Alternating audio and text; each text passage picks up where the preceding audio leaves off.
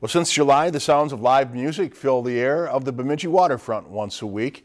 Mississippi Music Concert Series is the first of its kind here in the city, and it's quickly become a hit among residents, drawing a crowd from all over northern Minnesota.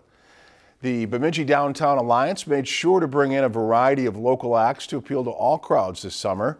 And for the most part, except for some inclement weather throughout the summer at times where they've had to move indoors, it's been a big hit on the waterfront. The concept being that this is Bemidji's the first city on the Mississippi, so we wanted to kind of get that flavor of a lot of the different towns that are kind of scattered around the Mississippi too. They're great for all ages from her age to my age, and uh, we've heard them before, and so we made a trip up here just to listen to them play tonight. It's nice. Sit on, on the ground and watch the lake and listen to music, and you, it doesn't get any better than that. Organizers are hoping to bring the series back for a second year. There will only be two more shows this season. Rich Matson and the North Stars will perform next Wednesday at 6 p.m. in Library Park.